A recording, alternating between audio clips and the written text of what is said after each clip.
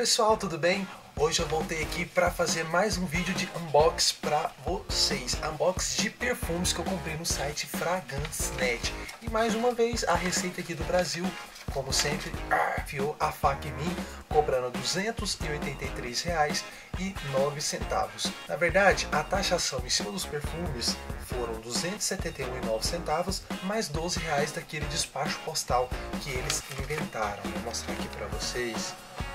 Vendo aí com clareza? Esse é o valor. Bora abrir essa caixa e ver o que veio de legal para mostrar para vocês, para futuramente ter mais resenhas de perfumes. Vamos lá, vamos abrir.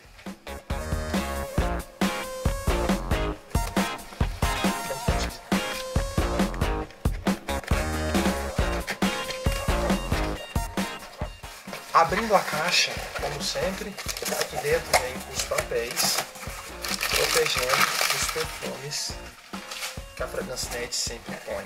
E aqui já dá pra ver o primeiro perfume que eu comprei, que é o Dupe Homme Eau de Toilette de 125 ml.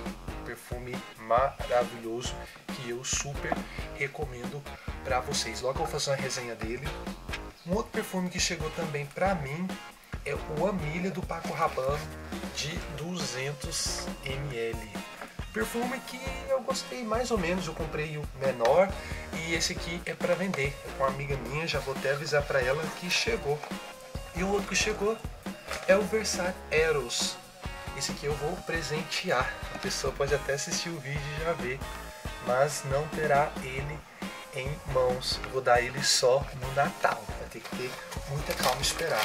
E o outro que eu comprei para vender também é o Sergio Lutan 5 O'Clock é esse aqui. A caixa é simples, é um perfume de nicho. perfume de nicho costuma não ser tão elaborado a caixa assim, mas em compensação o perfume é sensacional. Aqui vem mais papéis. E dessa vez não vem nem uma amostra para poder conhecer o novo perfume e poder falar para vocês.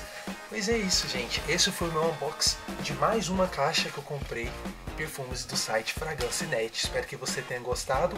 Não esqueça de curtir, de clicar em gostei aqui embaixo e, claro, de comentar. Um abraço, até mais!